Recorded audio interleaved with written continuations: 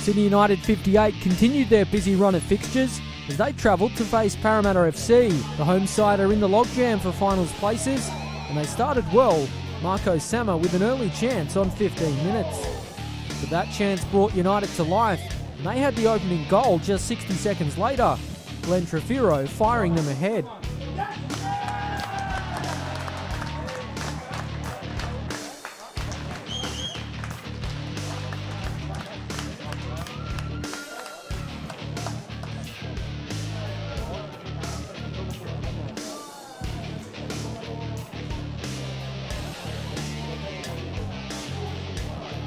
And the lead was doubled two minutes later.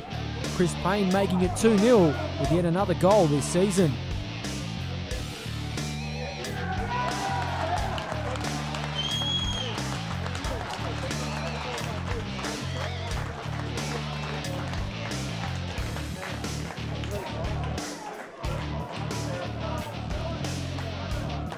And Payne was soon hungry for more, testing Luke Turnbull just minutes later.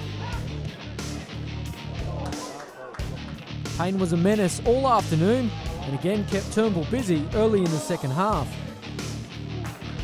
But it was Tomislav Uskok who almost added the third goal for United, Turnbull saving well. Marco Sama almost made a game of it late for the home side, but Thomas Manis denied him with a great save.